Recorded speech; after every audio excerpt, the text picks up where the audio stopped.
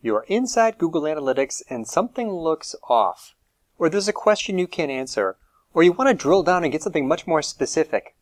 There's a very powerful feature in Google Analytics, maybe the most powerful feature. It's called segments, and this video will show you how to do it.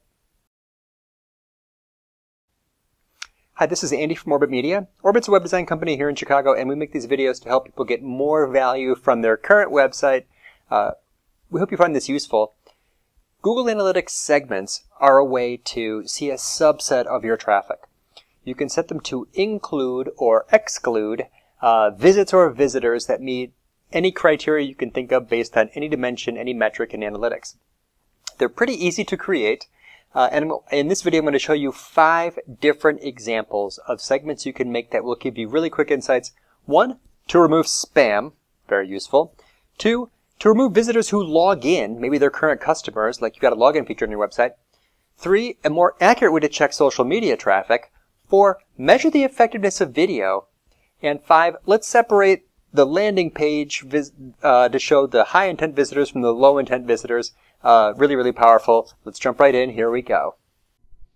Let's use a Google Analytics segment to remove spam. I'm inside an account here now, and I can see a big spike in traffic it looks like it's this strange traffic pattern to a certain page. Sometimes you can find spam traffic by a certain traffic source or traffic from some random country or different ways. Whatever the traffic pattern is, we got to find it. Once you find it, you can kind of confirm it. I use plot rows sometimes to double check like, oh, that's definitely it. Now I'm going to remove it. I'm going to click Add Segment, New Segment. I'm going to make a conditional segment, which is basically the only kind of segment I ever make in analytics because it it's very simple. Sessions to exclude when the page, scroll down, we're just looking to for that dimension, there's page, contains what?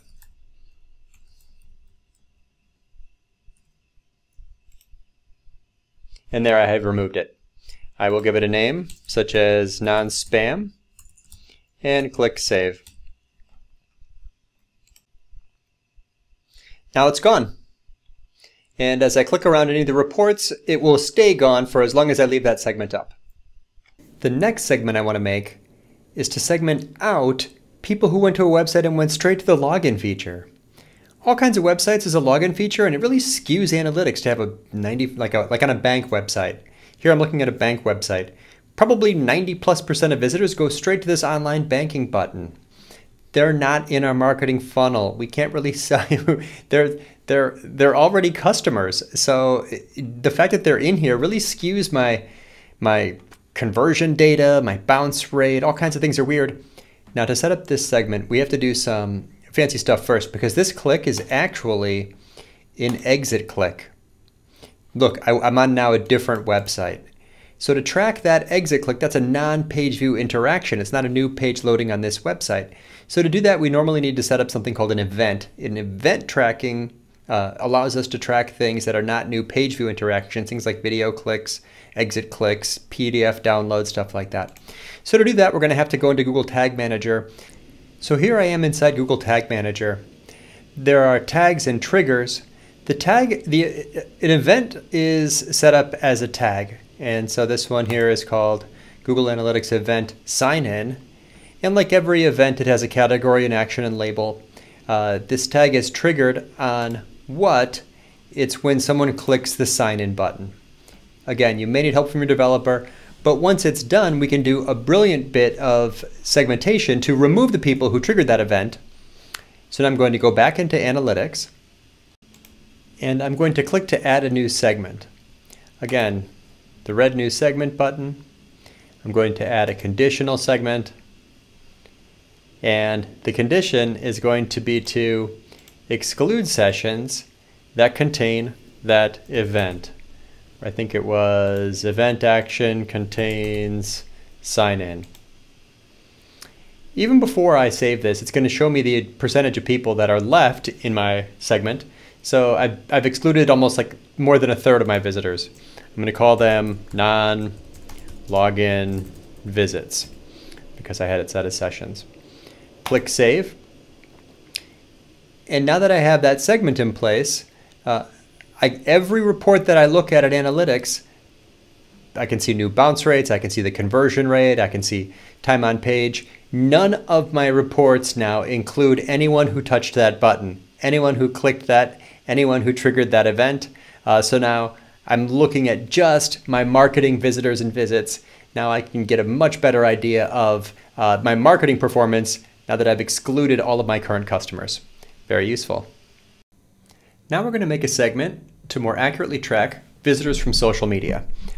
So social media traffic is all over the place in analytics, and it's inherently difficult for Google to find and catch these people and put them all in one bucket because there's lots of different social media networks. People access them through browsers and through apps.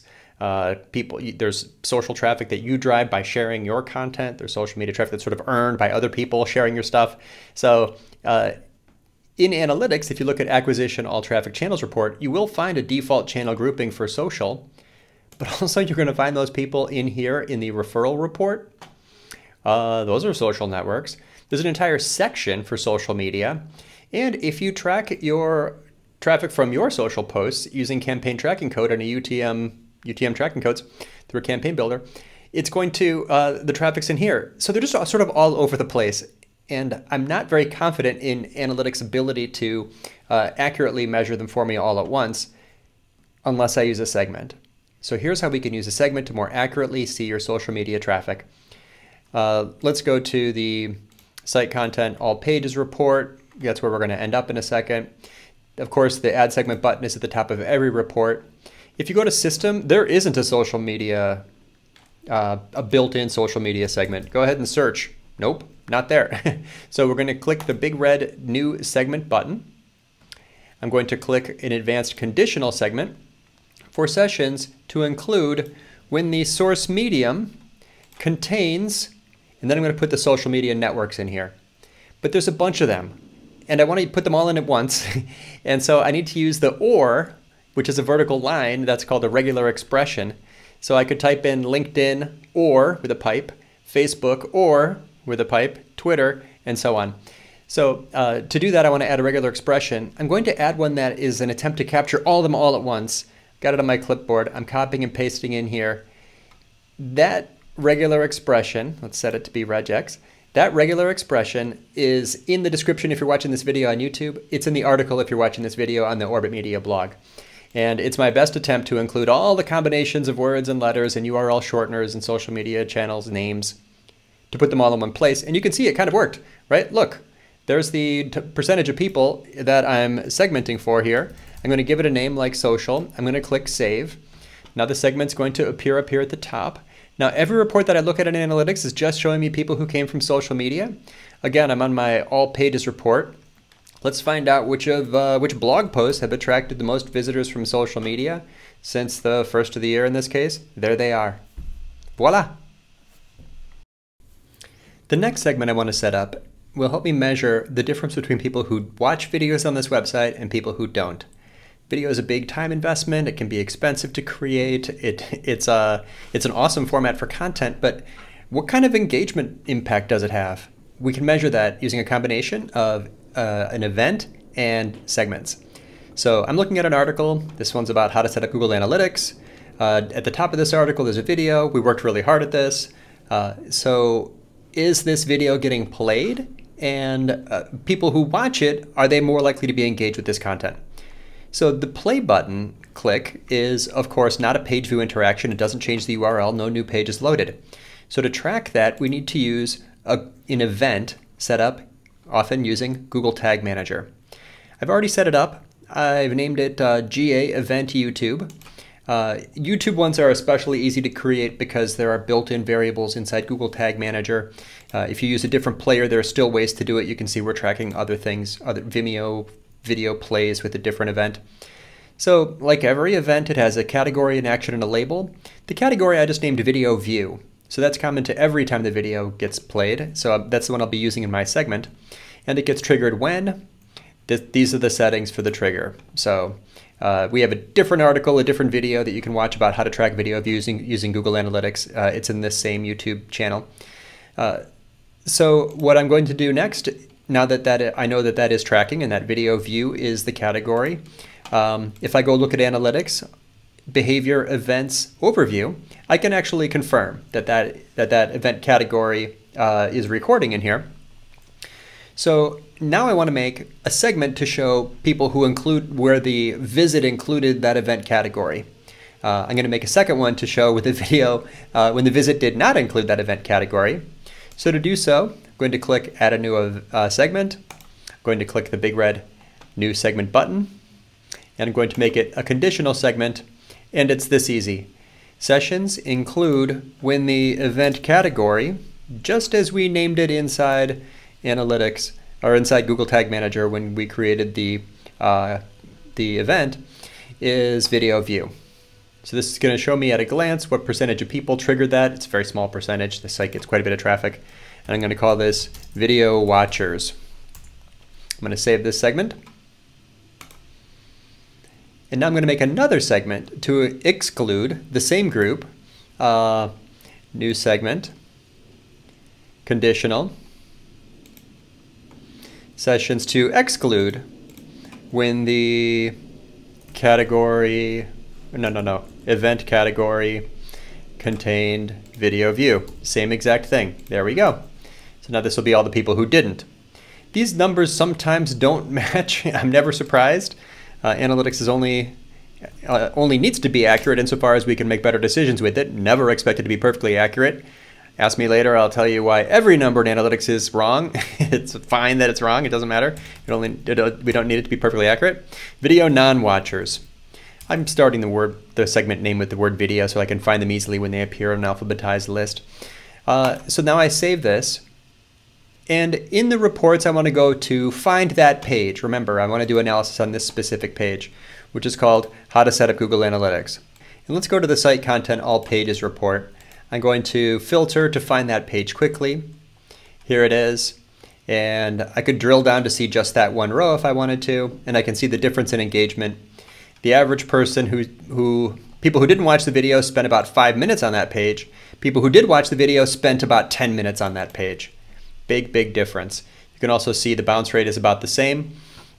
To get uh, more data, you can go to the landing pages report, which show the results when that page was the first page of the visit. Uh, I'm going to filter again to find just that page and click to drill down to see, uh, to remove every other page from that. And now I can see the impact. Uh, the bounce rate was about the same. Uh, the time on page for, for when this was the first page is about four times as long. Pretty interesting. And you can see the conversion rate is about twice as high. So that'd be, in this case, the percentage of people who subscribe to the newsletter. So I now have uh, a very uh, good, a good attribution and uh, a way to show the impact of the investment in video in website engagement and conversion uh, on any URL which had that uh, a video embedded, provided that I had the event set up and these two little uh, segments in place. For the fifth and final segment, this one's pretty easy. I want to look at just people who start their visit on a blog post. Those people often search for information intent queries. They don't have strong intent. They might be trying to do the, you know, solve the problems themselves, kind of a DIY visitor, or just looking for an answer to a question versus people who start their visit on a sales page, on a service page, on a page promoting our business. Uh, if you don't do this segment and you look at analytics in the conversion goals overview report, you may see a conversion rate that is dramatically deflated by all of the uh, high traffic blog posts that you've published over the years. That makes it look like the website is broken, even though it may not be.